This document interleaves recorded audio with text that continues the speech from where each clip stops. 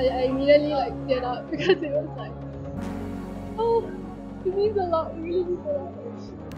Um, I never thought I would be here. Uh, before the race, I was just like, you know, I'm just gonna give this everything I got because it's my last one of the season. The thing about 200 is that if you're on the inner lane, there's definitely gonna be people in front of you. So I just had to focus on blurring them out and just attacking my curve and coming out the straight as strong as possible. So yeah, that's what I was doing throughout the curve. And then once I hit the straight, I don't know, I don't know where it was that I saw I was in the lead. Once I did, I was like just go to the finish. like, don't care about your technique, really, just go. no matter what down my head, I just kept going, I guess, because I knew that this is what I wanted to do, this is what I love to do. In this era, like, I've always dreamed of it, of it and um, yeah, I'm here and I'm living it, and yeah, it's just, it's been amazing.